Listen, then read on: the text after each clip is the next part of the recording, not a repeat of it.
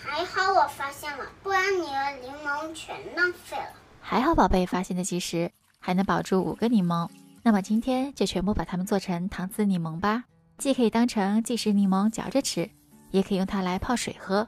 清洗干净的柠檬，我们去掉头尾，然后再将它切成稍微厚一点的柠檬片，厚度大概在两到三毫米的样子。切好的柠檬片，我们需要将中间的籽全部去掉，以免会发苦。现在我们将处理好的柠檬片全部倒入锅中。加入细砂糖和清水，喜欢清凉口感的话，可以像我一样加入一些薄荷糖。全程我们用中小火来熬煮，当锅中的柠檬糖浆变得粘稠，柠檬变成这样透明的样子，熬柠檬这一步就已经完成了。接下来，我们将熬好的柠檬平铺在烤盘上，然后送入烤箱进行烘烤。烤箱一定是需要带热风功能的，我这台烤箱就自带柠檬干的功能，如果没有的话。那么就设置七十度烘烤一个半小时。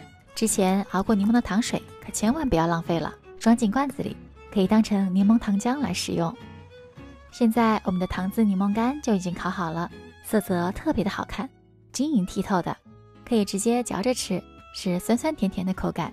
或者用它来做柠檬红茶，放几片糖渍柠檬，倒入红茶，再舀上一勺柠檬糖浆，这杯柠檬红茶真的是非常好喝。